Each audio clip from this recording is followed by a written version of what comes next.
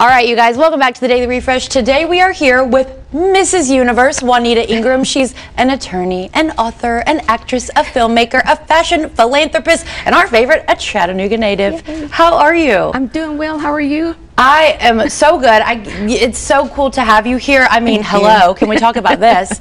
Tell me about your journey with Mrs. Universe. Yes, it's been a great journey. Um, it took me about 10 years to get there. Yeah. Uh, and it's been great. I've had a lot of fun. 79 women competing, and it's been a wonderful year. So I was crowned last August, uh, and I didn't know at the time. Someone pointed it out immediately after I was crowned that I am the first black woman to to win this title. So I didn't know.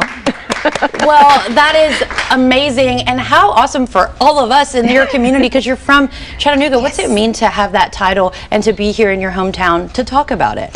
It means a lot. Yeah. You know, I, I go to my high school, middle school, and elementary school tomorrow. Yay. So that will be exciting. Talk uh, about nostalgia. We were talking about yes, earlier. That'll yes, be great. Exactly. But I think for all the little girls to know that intelligence wins the crown, that's always what I tell people all the time. So it's really important. Yes. Yeah. And you're doing something else very important. Tell me about mm -hmm. this event. Absolutely. So Dress for Success Chattanooga is an organization. We help unemployed women get back into the workplace. We give them interview attire, training, and tomorrow, or not, not tomorrow, tonight, yeah. I'm jet lagged because no, I, I live in fine. Singapore. She so lives in Singapore. Yes. Also very important to yes. note. Thanks for coming back to talk about this. Yes, but tonight, uh, 6 to 8, we're having our Celebrate Her event. So we're celebrating three years of us being open and all the women that we've helped to their journey of success. I love it. Tell me what this event looks like for someone that comes, because there's a lot of people that might buy tickets right now. Yes. What's this going to look like? Well, it's a free event. There, we're going to have jazz, we'll have refreshments, we'll have raffle tickets. It'll be a lot of fun. And they'll learn about what we do,